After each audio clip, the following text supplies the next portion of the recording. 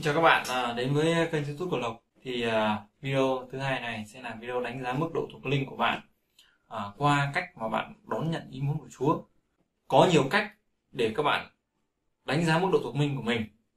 Nhưng mà cái cách các bạn đón nhận ý muốn Chúa thì mình nghĩ là là cách quan trọng nhất để đánh giá mức độ thuộc linh. Và nó chính là cách chính xác nhất. Sau này mình sẽ chia sẻ với bạn một số các, các cách đánh giá khác và có thể à, và có thể kiểm điểm lại chính bản thân của chúng ta. Nhưng mà cái cách đánh giá này ấy nhưng mà cái cách đón nhận ý Chúa này thì nó rất quan trọng. Thì mình sẽ chứng minh qua cho các bạn biết về việc ý muốn của Chúa là sẽ quan trọng thế nào. Đó là Chúa muốn là sự vâng lời là tốt hơn mọi của lễ. Và các bạn biết rằng là Chúa coi trọng sự vâng lời và hơn là của lễ. À, Chúa kể có một câu chuyện ấy, là có hai người con người cha bảo người con thứ nhất là đi và làm cho ta việc này. Người con thứ nhất đó nói vâng nhưng không đi. Rồi cha chạy đến với người con thứ hai là, con hãy làm cho ta việc này. Người con lại bảo là, con không đi đâu, nhưng về sau người con hối hận ăn năn rồi còn người con đã đi. Thì nói về sự vâng lời. Sự vâng lời ở đây, chúa đánh giá rất là cao rất là cao. Và sự vâng lời là tốt hơn một quả lễ. Và chúng ta được cứu về thiên đàng cũng một phần do bởi sự vâng lời. À, ta biết rằng là ấy là nhờ ân điển bởi đức tin mà ta được cứu không phải việc làm của chúng ta. Nhưng mà không có nghĩa là chúng ta à, tin Chúa rồi ăn năn đón nhận Chúa à, thuộc về nước thiên đàng rồi. Xong ta muốn làm gì thì chúng ta làm ta không vâng lời Chúa nữa. À, Chúa bảo điều này ta cứ làm chống nghịch lại thì đức tin và ân điển của Chúa mới còn giá trị nữa không? Khi mà chúng ta không vâng lời đúng không nên là Chúa nói là sự vâng lời tốt hơn mọi của lễ. Và chúng ta cũng biết là trong kinh thánh có các nhân vật à, Samson không còn lời Chúa phải bị mù đôi mắt không giữ kín bí mật của mình. À, à, vua Saul không còn lời Chúa đã bị Chúa hủy diệt và cất khỏi chức vụ. À, trong kinh thánh có rất nhiều các nhân vật à, về việc không vâng lời Chúa. Và cái việc không vâng lời Chúa thì nó cũng là mức độ tồi tệ nhất.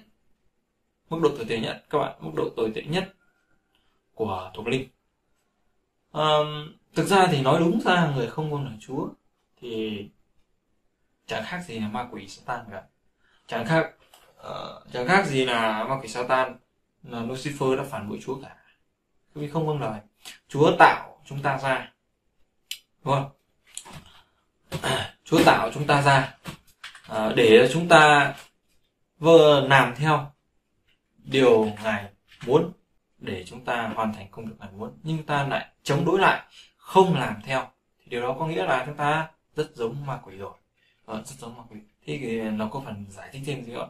À, nó đã nói với các bạn rồi nhưng nó muốn nói với bạn một cái ví dụ. Ví dụ ở đây đó là về nhân vật a bên. A bên là ai nhỉ? A bên là con trai của adam đúng không ạ? A bên con trai của adam là anh của cain. Adam và eva cặp vợ chồng đầu tiên loài người đầu tiên này đã sinh ra hai người con trai đầu tiên trên thế giới đó là Abel và Cain. Thì chúng ta biết là Cain là người sống đẹp lòng Chúa và dâng cho Chúa những của lễ đẹp lòng Chúa và Chúa nhận của lễ của Cain. Nhưng Chúa không nhận không chấp nhận không đón nhận của lễ của AB và AB nói ôi Chúa ơi, sao ngài không chấp nhận? Con cũng dâng cho Chúa tại sao Chúa không chấp nhận? Và Chúa nói AB là ta không chấp nhận con đâu vì con phải sửa đi dâng cho ta đúng cái mà ta cần.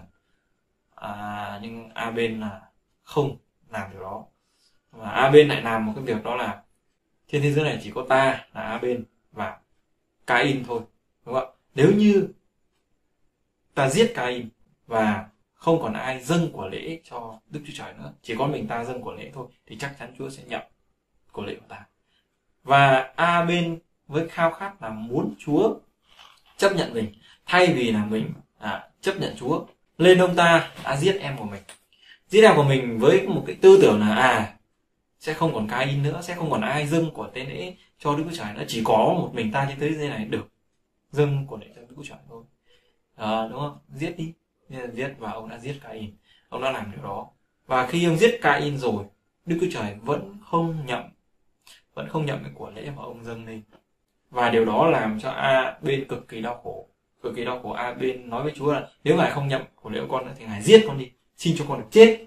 Nhưng đức trời lại nói với cả hai bên rằng, ta sẽ đánh dấu trên trán ngươi, sẽ không ai được phép giết ngươi. Và ngươi phải sống. Sống trong sự khước từ, sống trong sự không chấp nhận với Chúa Trời. Bởi vì ngươi không chấp nhận ý muốn của Chúa, ngươi khước từ với Chúa, thì Đức Chúa Trời cũng khước từ ngươi. Mặc dù và cho ngươi sống trong sự khước từ, bắt ngươi phải sống sự khước từ. Và đây là điều cực kỳ nguy hiểm cho chúng ta. Và đây là một cái mức độ thuộc linh rất là tồi tệ ở cái chỗ đó. Là nếu như chúng ta khước từ Chúa, khước từ ý muốn của Ngài, thì Đức Chúa Trời cũng sẽ khước từ chúng ta, giống như cách mà Chúa khước từ hai bên. Chúng ta vẫn còn hơi thở trên mũi, vẫn còn sống, vẫn đi nhóm nhà thờ. Nhưng sự khước từ của Chúa đã xảy ra mà đôi khi chúng ta không biết được. Cho nên là chúng ta phải chú ý thật nhiều về cái mức độ thuộc linh này, vô cùng nguy hiểm. Rồi, chúng ta sẽ đến với một mức độ thứ hai, là mức độ thứ hai là mức độ tốt hơn một chút, là mức độ chấp nhận chúng ta sẽ có một cái mức độ mang gọi là chấp nhận. Nó nghe nó rất là là là cảm giác như là nó là một cái gì đó nó khá là à, nó khá là ngang bướng à, à, đúng không các bạn các bạn công nhận với mình cái mức độ chấp nhận này nó mang một cái tính chất là khá là ương ngạnh khá là, là khó khăn để mà nhận được ý muốn của Chúa. À biết là ý muốn của Chúa như thế nhưng mà cố gắng cố gắng để chấp nhận. Là cái ý muốn tức là ta cố gắng làm sao là để để chấp nhận. Thực ra nói về cái từ cố gắng chấp nhận. Thực ra thì chúng ta sẽ cảm thấy nó rất là, nó rất là khiên cưỡng ở đây. Nó rất là khiên cưỡng và nó mang tính chất là là là gần như là không vương phục. Gần như là không vương phục. Bởi vì sao mình lại nói như vậy? Bởi vì là chúng ta là con của Chúa. Chúng ta là phật tôi tớ. Chúng ta được Đức Chúa Trời mua và chuộc lấy. Được Đức Chúa Trời chọn và chúng ta gọi Đức Chúa Trời là cha à là Chúa. Nhưng chúng ta đánh giá rồi em tại sao chúng ta lại cố gắng chấp nhận. Sự chấp nhận ý muốn của Chúa thực ra nó tốt hơn nhiều rất nhiều là cái việc mà bạn cứ từ ý muốn của Chúa. Nhưng uh, chấp nhận ý muốn của Chúa nó mang tính chất là bạn đã có một chút gì đó chống đối với Chúa.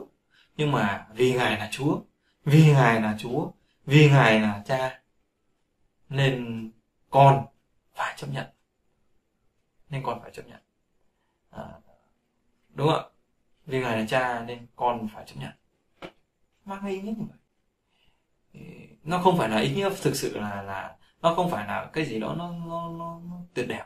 Nó không phải à, và đối với Chúa thì đối với Chúa thì Chúa cần phải phải sửa dạy. Bởi vì Chúa cần phải sửa dạy. Sự sửa dạy của Chúa là giúp ích cho chúng ta. Khi chúng ta được Chúa sửa dạy, được Chúa cáo trách, được Chúa sửa phạt, được Chúa nhắc nhở, được Chúa dạy dỗ, điều đó đồng nghĩa một việc là chúng ta còn được Đức Chúa Trời chấp nhận, còn được Đức Chúa Trời công nhận, còn được Đức Chúa Trời yêu thương, còn được Đức Chúa Trời ban cho sự cứu rỗi nếu như à, Chúa à, chúng ta đang cố gắng tiếp nhận Chúa thì Chúa cũng làm như vậy với chúng ta. Chúa cũng đang cố gắng sửa dạy chúng ta để có thể đón nhận chúng ta chấp nhận chúng ta. Đúng không Chúa cũng như vậy. Nếu chúng ta không chấp nhận Ngài không chấp nhận ý muốn của Ngài thì Chúa cần phải sửa dạy chúng ta. Chúng ta sẽ nói về một nhân vật trong kinh thánh đó là Jonah. Jonah là một tiên tri của Chúa à, nhưng mà tiên tri này có vẻ như là không phải là một tiên tri tích cực hay là một tiên tri tuyệt vời lắm. À, ờ, ông là là cãi lẫy với Chúa vật lộn với Chúa đấu tranh với Chúa. Là Chúa nói với ông rằng ta sai con đi đến thành Ninive và nói với cái thành đấy rằng là các ngươi đang phạm tội bây giờ các ngươi phải ăn năn để cứu không thì một tháng nữa ta sẽ hủy phá cái thành này giết chết hết tất cả mọi người trong thành. Thì Jonah vui quá Jonah thích quá. À Chúa sẽ diệt cái thành đấy thành đấy cực kỳ gian ác. Ông mới biết là thành Nive là gian ác rồi. Và ông ôi thế thì vui quá, thế tốt quá, Chúa sẽ, một tháng nữa Chúa sẽ giết. Thế là ông trốn đi. Ông ấy trốn đi sang xứ khác. À, ông chờ đợi trong cái thời gian một tháng nó hết và Chúa sẽ hủy diệt thành đó. Chỉ có một tháng thôi mà, ông sẽ đi trốn. Ông đi trốn để để để để cái cái người dân trong thành ấy chết. Ông không muốn cứu cái người trong thành đó. Tiên tri Zola là cách làm rất là ngược bởi vì tất cả các tiên tri, tất cả những người được Chúa sử dụng đều mang cái thông điệp để cứu mọi người, đều mang cái sứ mệnh là để cứu giúp người khác. Nhưng mà tiên tri Zola làm ngược lại. Ông muốn cái thành đó, cái dân thành đó phải chết. Nên là ông đi trốn ý muốn của Chúa, cãi lại ý muốn của Chúa.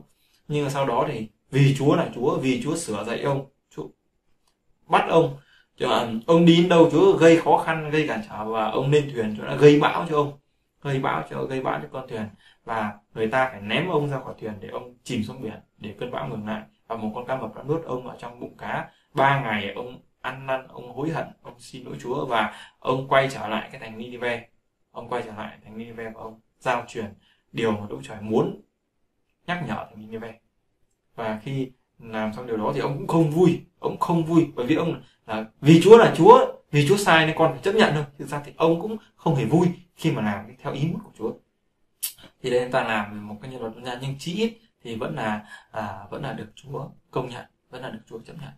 À, chí thì là được vẫn được Chúa sự dạy chứ Chúa không khước từ không loại bỏ nhưng ma quỷ đúng không? không loại bỏ như là Chúa loại bỏ a bên đúng không ạ? Thế thì còn trong kinh thánh thì có một nhân vật nào cũng mang tính chất chấp nhận này không nhỉ? Cố gắng lắm mới chấp nhận ý của Chúa nhỉ? Có lẽ là là có lẽ là là là không còn nữa đúng không ạ? Có lẽ là không còn nữa. Rồi đây là mức độ chấp nhận thì chí ít là mình cũng mong các bạn à, ở cái mức độ chấp nhận này ở cái mức độ chấp nhận ít ra bạn cũng phải cố gắng chấp nhận ý muốn của Chúa. À, Chúa sẽ dạy các bạn để các bạn đến với một cái mức độ tiếp theo. Đó là mức độ đón nhận. Mức độ đón nhận. Thực ra mức độ đón nhận là mức độ khá là tốt. Mức độ đón nhận tức là bạn luôn luôn đón nhận dù Chúa ban phước hay là Chúa không ban phước dù là Đức Chúa Trời chăm sóc hay Đức Chúa Trời không chăm sóc mức độ đón nhận là một mức độ khá tốt. À, mức độ khá tốt. Mình đánh giá như vậy. Và mức độ này nó mang cái tính là một người đầu phục một người có sự thờ phượng một người có sự kính sợ Chúa là một người có đức tin tốt cũng là một người cũng là một người phục vụ. Thì cái mức độ đón nhận này là mức độ tốt rồi khá là tốt nó chưa phải tốt nhất nhưng mà mình nói là các bạn. Thì mình nói thật các bạn là rất là tốt rất là tốt rồi. Um, ví dụ như à, trong kinh thánh nói về nhân vật Phaolô đúng không ạ? Chúa muốn Phaolô đi vào thành Jerusalem và khi đi vào đó thì ông sẽ chịu bắt bớ thậm chí là bị à, roi vọt à, có thể là sẽ bị chết ở trong thành Jerusalem nhưng mà ông vẫn làm việc đó. Đấy là thể hiện cái sự đón nhận mặc dù không vui vẻ gì cả mặc dù cái cái cái biết là đón nhận cái cái cái điều đó nó sẽ rất là buồn rất là buồn nhưng mà à, vẫn đón nhận vì đây là sự đầu phục. À, và có đôi khi cái mức độ đón nhận này nó mang tính chất thờ phượng Chúa mang tính chất thờ phượng Chúa. À, đó là ví dụ như khi mà các bạn làm một công việc gì đó trong hội thánh hay là làm một công việc gì đó trong chức vụ mà Đức Trời muốn bạn làm tiên tri hay là chữa lành giải cứu hay là thương xót ban ơn giúp đỡ. Ví dụ là một, à, bất cứ một cái chức vụ gì. Ví dụ bây giờ có một người nghèo và Đức Trời nói với bạn rằng là bây giờ ta muốn con à, dâng hiến một số tiền cho cái người nghèo này. Ta muốn chăm sóc cái người nghèo này qua con. Và là bạn là một người có điều kiện ban ra và bạn đón nhận điều này và bạn dâng điều này thì nó mang tính chất là sự thờ phượng Chúa. À, Chúa được tôn vinh Chúa được tôn vinh Chúa được tôn vinh qua cái việc làm của bạn. Hoặc là đôi khi Chúa à, sai bạn đi giải cứu cho một người đang bị ốm đau. Cái người này bị quỷ nhập và đang mắc một căn bệnh. À, đang mắc căn bệnh. Nhưng mà bạn rất ghét cái người này. À, bạn hiểu ý mình nói nhỉ? Tức là bạn cực kỳ ghét cái người này. Bạn không thích cái người này. À, bạn à, đã từng xích mích cãi cọ với người này. Đấy, bạn và người này là có cái sự cãi cọ nhau. Nhưng bây giờ chúa muốn bạn gọi là đầu phục ngài đi đi uh, chữa lành cho người này. Và khi bạn tin ngài và bạn làm theo ý của ngài bạn đến bạn chữa lành cho, cho cái người này. À, và sau cái việc làm của bạn thì cái mối quan hệ giữa hai bạn được chữa lành. Giữa hai bạn được chữa lành tức là hai bạn đang ghét nhau hay đang có một cái vấn đề gì đó về cái mặt tình cảm không được tốt đẹp nhưng mà chúa sai bạn đi.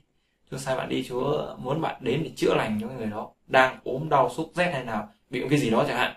À, chúa muốn bạn đi thì cái mức độ này các bạn không vui vẻ để làm điều đó nhưng các bạn vẫn đón nhận nó và làm theo ý muốn của chúa với tính chất đầu phục ngài. Thì khi các bạn uh, khi bạn chữa lành được cho người đó rồi và và Chúa đã dùng quyền năng của Ngài qua bạn để chữa lành người đó thì à, cái mối quan hệ của hai bạn nó được nó được trở lại. Mối quan hệ của hai bạn nó được trở lại thì có điều đó có nghĩa là Chúa được tôn vinh Chúa được thờ phượng qua cái việc làm của bạn qua cái việc bạn đón nhận cái điều mà Chúa dạy bạn. Ví dụ vậy. Và điều nữa là cái mức độ đón nhận này nó thể hiện người kính sợ Chúa. Người kính sợ Chúa đấy. Ví dụ à, như là Chúa nói với bạn là bạn không được phép chơi cờ bạc vui chơi uh, nghiện ngập hay là vui chơi uh, những cái trần tục thế gian. Thì trước đây bạn là cái người trước đây bạn là cái người trần tục thế gian và bạn có nhiều mối quan hệ xã hội. Bạn có nhiều mối quan hệ xã hội. Và bây giờ bạn tin Chúa rồi bạn yêu mến Chúa rồi. Thế nhưng mà những người đó họ lại đến họ gọi bạn. Họ muốn bạn là à đến với họ đi chơi với họ đến với bạn đến với họ đi chơi với họ. Và à, quay lại cuộc sống nếp sống cũ. Thế nhưng mà bây giờ bạn đã kính sợ Chúa rồi.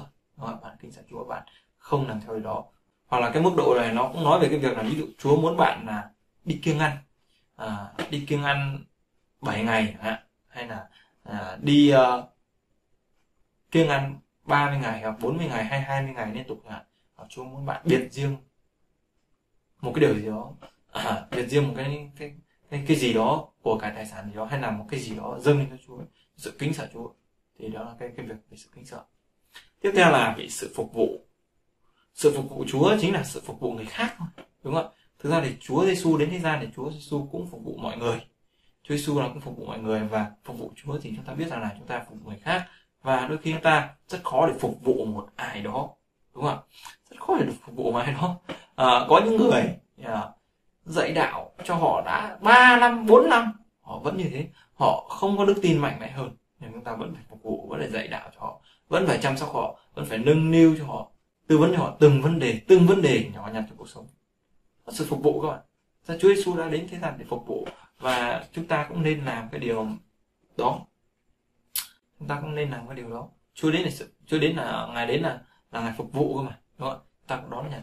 Chúng ta chứ còn hết sức với người này rồi, con đã cứu mang người này, dạy dỗ người này, con đã làm mọi sự cho người này, con đã cầu nguyện với người này, con đã giải thích cho người này, con đã đến chăm sóc họ thế này, con đã làm thế này, con đã thế kia với họ. Nhưng mà chúa nói, hãy phục vụ ta, hãy phục vụ ta. Đúng không đôi khi chúng ta không chịu đựng được một ai đó, chúng ta không chịu đựng được họ. Họ rất là khó chịu với chúng ta. Họ rất là nhìn thấy họ là, ôi rồi một người không thể dạy dỗ được, không thể thay đổi được. Nhưng mà đôi khi chúng ta vẫn phải phục vụ chúa nếu mà ai mà cũng là cơ đốc nhân tốt hết thì chúng ta cần gì phải phục vụ nữa đúng không? chúng ta cần gì phải phục vụ nữa đâu. À, cho nên là à, đôi khi chúng ta phải hiểu cái điều mà Đức Chúa Trời muốn. Điều mà Đức Chúa Trời muốn cho trên đời sống của chúng ta. Rồi cuối cùng là những người đầu phục Chúa phục vụ Chúa này thì chắc chắn là được Chúa khen rồi được Chúa khen. À, à, Chúa khen thì như nào thì mình sẽ chia sẻ với bạn trong một câu chuyện đó là câu chuyện về à, năm ta nâng ba ta nâng và một ta nâng. Nó có ba cấp độ của sự đón nhận đúng không ạ? À, cấp độ thứ nhất là cái người được ban cho năm ta nâng. Họ đón nhận cái điều mà chủ giao cho họ. Thực ra thì ông chủ đi ra ngoài đúng không ông chủ lại giao thêm một việc cho họ đó là đưa cho họ một số tiền và bắt họ phải làm lợi cái số tiền đó ra. Điều này nó cứ cảm giác như là nó cảm giác như là điều nó khá là là là, là khó khăn. Nó, nó là điều khó khăn cho một số người. Bởi vì bình thường khi chủ ở nhà thì cái việc làm lợi ra tiền bạc chủ ở nhà đúng không việc đấy là việc của chủ. Cái việc mà việc chủ làm cho chủ giàu có lên thế là việc của chủ. Nhưng bây giờ là chủ bận à, chủ có việc đi xa vài ngày hay là nhiều ngày chủ không thể tự mình ừ, làm giàu cho chứ không thể tự mình kinh doanh không thể tự mình buôn bán không thể tự tự mình phát triển và tăng thêm gia sản nữa. Nên là chủ giao cho cái công việc đó cho người đời tớ. À, thế thì à, cái người đời tớ này cũng phải đón nhận đúng không ạ? Cũng phải đón nhận. Thế nhưng mà người năm ta lâng lại đón nhận và đã làm nợ ra đúng không thế còn người ba ta lâng cũng như vậy. À, năm ta lâng cũng vậy ba ta lâng cũng vậy. Nhưng mà cái người có một ta lâng thôi. Ông ta chỉ có một ta lâng thôi. Cái người năm ta lâng mà người ta còn cái người mà được ban cho đến năm ta lân người ban cho rất nhiều. À, cái người được giao cho năm ta lân là giao cho rất là nhiều việc đúng không năm ta lân là giao cho nhiều việc lắm. Nên chúng ta được hiểu như vậy. Thế nhưng mà người ta vẫn cố gắng người ta làm lợi ra. Thế nhưng mà cái người và cái người ba ta lân là người cũng ít hơn một chút nhưng mà ông ta cũng dễ dàng và ông ta cũng đón nhận ông ta làm lợi. ra. Thế nhưng mà cái ông một ta lân thôi. Cái ông một chỉ có một ta lân thôi. À chủ đi rồi ta đem ta giấu đi sau này ta trả lại cho chủ chẳng có làm lợi gì ra cả. Thì đó chính là một đầy tớ gian ác và chúa đã trừng phạt hai người đó vẫn chúa khen hai người còn lại. Đó chúa khen hai người còn lại. Tức là cái sự chăm chỉ của họ. Họ không lười biếng. Đó sự chăm chỉ của họ họ không lười biếng. Họ đã đón nhận cái việc của Chúa, cái việc đó là việc của Chúa đã trả rất cái việc của mình. Mình làm là làm giàu cho chủ rồi đúng không? Cái việc đó phải của mình đó. nhưng mà nhưng mà ý ý ở đây mình muốn chia sẻ các bạn là cái việc đón nhận nó nó là như thế. Ờ, để cho các bạn có thể hiểu được đôi khi chúng ta cứ nghĩ à chúng ta bấn gì đâu cái việc đấy liên quan đến chúng ta đâu.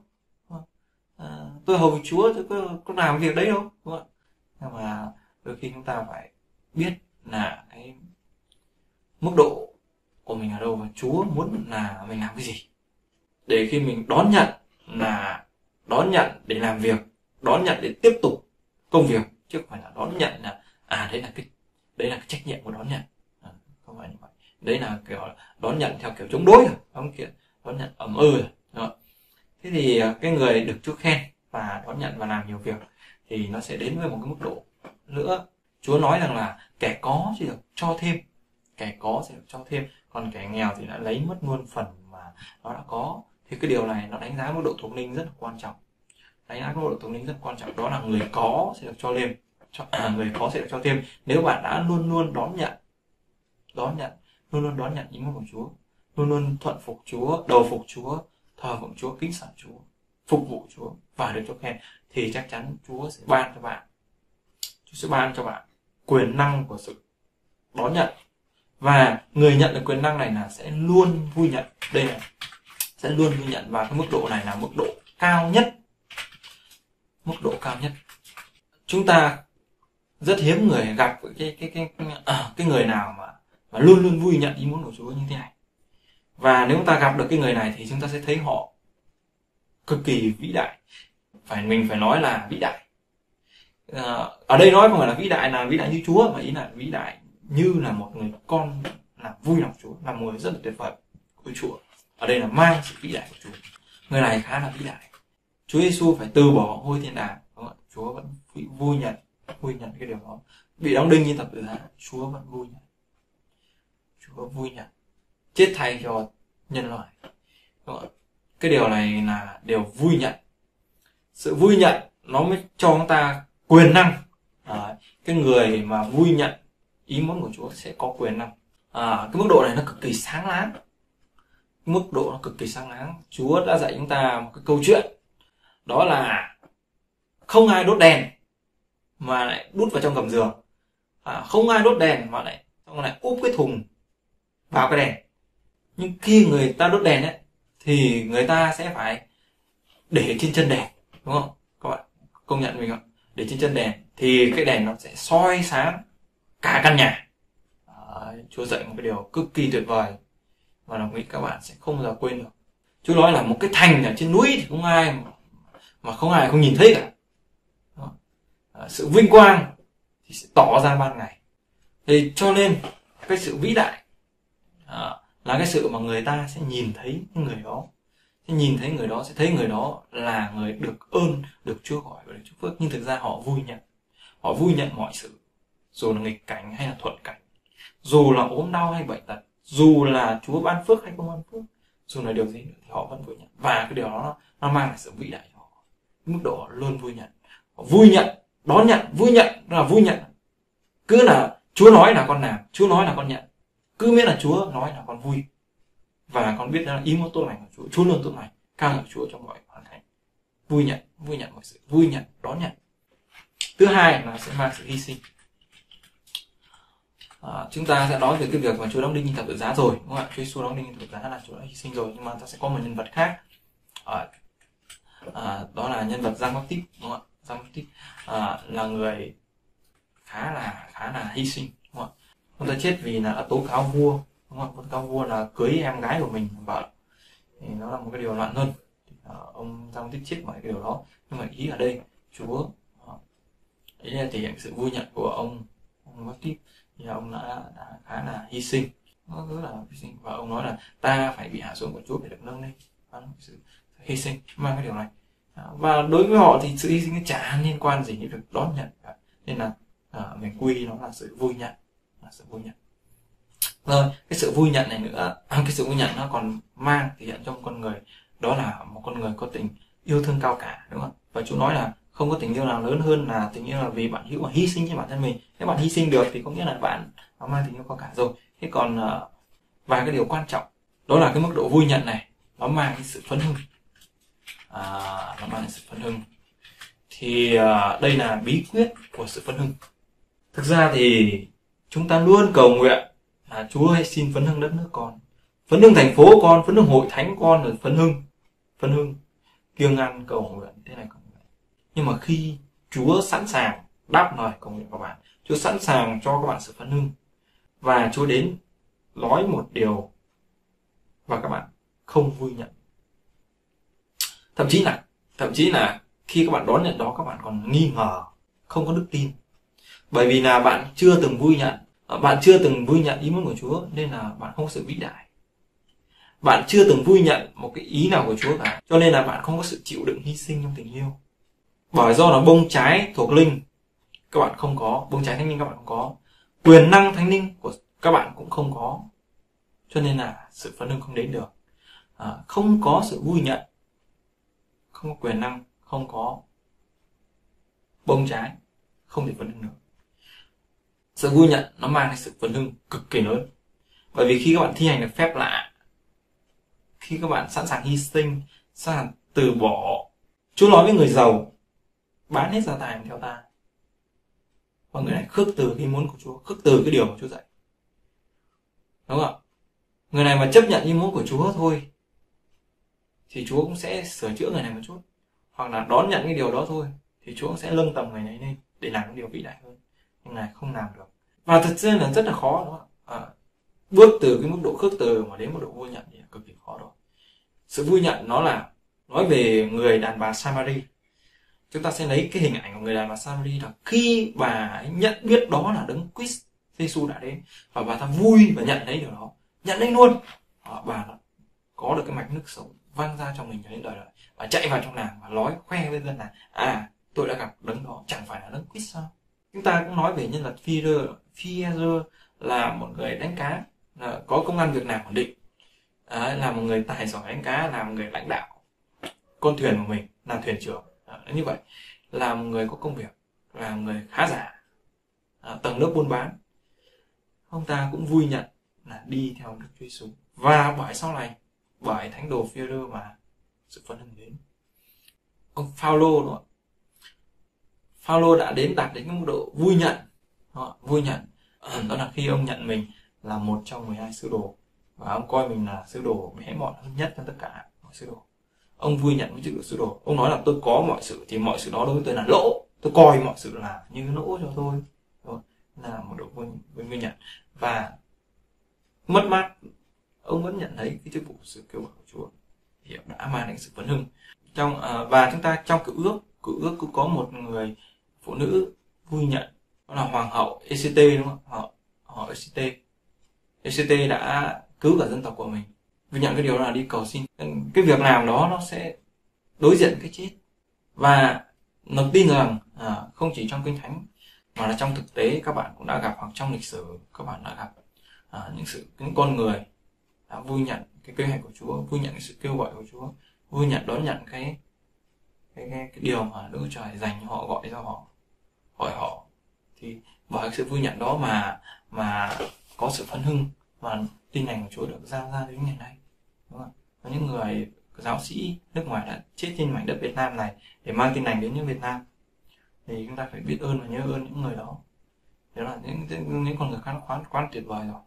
Họ vui nhận tất cả mọi sự. Ốm đau bệnh tật xa quê bị bắt bớ bị chơi đùa. Nó họ luôn vui nhận vui nhận. Cái điều này là điều quan trọng dù như nào họ vẫn cảm thấy vui, được hầu Chúa là đối với họ là một niềm vui. Được làm công việc Chúa đối với họ là một niềm vui. Được hy sinh cho Chúa là một niềm vui. Được chết vì tin lành là một niềm vui. Đối với họ là một niềm vui. Thì mới mang cái sự phấn hưng được Đó. và chỉ có những người như vậy mới làm những điều vĩ đại được. Họ có quyền năng thánh linh, họ có quyền năng của bông trái thánh linh. Chính thánh linh là sức giàu của họ. Bởi họ luôn luôn chấp nhận mọi ý muốn của Chúa, luôn luôn đón nhận mọi ý muốn của Chúa. Nên Chúa ban cho họ cái đức tin, giản dị và mạnh mẽ để vui nhận Chúa nói với à, các môn đồ là ta sai các ngươi đi như chiên vào giữa bảy muông sói. Đi như chiên vào giữa bảy muông sói thôi con chạy thôi con. Một con chiên mà gặp một con sói thì là con chiên cũng đã đủ chết rồi. Nhưng mà như chiên này đi vào giữa bảy muông sói. Thế thôi con bỏ chức vụ nhưng mà à, các môn đồ này đó là vui nhận là vui nhận là đi vào thế gian. Dù là phải chết. Và nếu các bạn đọc trong lịch sử các bạn biết người ta đã dùng những cơ đốc nhân cho sư tử ăn thịt để mua vui và có những cái sự rất là tàn khốc đối xử với người do thái và cũng như là đối xử với những người tin kính chúa trong thời kỳ đầu cơ đốc nhân cơ đốc nhân à, cơ đốc giáo phát triển. Thì cho nên là cái sự vui nhận này nó rất là, là sự vui nhận này nó nó nó nó nó, nó là một mức độ rất là tuyệt vời mà một cái đức tin nó nhận. Một niềm tin nó nhận rất là kinh khủng. Thì à, à, thì cái mức độ luôn vui nhận ý muốn của Chúa này thì nó mang cái một cái tính chất khá là sâu sắc khá là tuyệt vời và có thể là lộc và các bạn. Chúng ta ừ, chưa đạt đến thì chúng ta nói về cái này nó hơi bị ấp úng và nói về nó nó chưa cảm nhận hết được. Thì sau này liệu có những cái um, hội thảo hay có những cái cuộc thảo luận với nhau ta sẽ thảo luận về cái việc vui nhận ý muốn của Chúa Trời nó sẽ đặc biệt nó sẽ khác biệt sẽ có sức mạnh như nào. Và chúng ta sẽ hiểu được sâu sắc hơn và chúng ta sẽ biết cách để làm sao chúng ta có được một cái trái tim một cái tấm lòng luôn vui nhận những một Chúa. Và sung sướng khi chúng ta được hy sinh cho Chúa phục vụ Chúa được về cái như này thì đây là một cái mức độ vui nhận nó, nó, nó cảm giác như chúng ta được thánh hóa được về trời rồi đấy. Quá là tuyệt vời. Thôi hẹn gặp lại các bạn trong các video khác và mong rằng cái um, video này có giá trị ý nghĩa các bạn và các bạn đừng đừng ở cái mức độ thứ nhất là mức độ khước từ Chúa. Đừng mức độ ở mức độ này. Chỉ ít là à, chỉ ít là mới tin Chúa chị hãy cố gắng chấp nhận. Và à, mình mong là các bạn tất cả chúng ta đều đạt đến được mức độ đón nhận. Còn là này một Chúa còn mức độ vui nhận này thì chắc là chúng ta sẽ phải cầu nguyện với nhau một cách rất là nhiều lần. Đó là một cái sự đeo đuổi như là như là thánh đồ Phaolô ấy. Tôi nhắm mục đích mà chạy. Mới đạt đến được sự vui nhận này. Chúng ta sẽ có những cuộc thảo luận và có những cái những cái buổi tọa đàm với nhau để nói về cái điều này về sự vui nhận này. Rồi hẹn gặp lại các bạn trong các video khác nhé.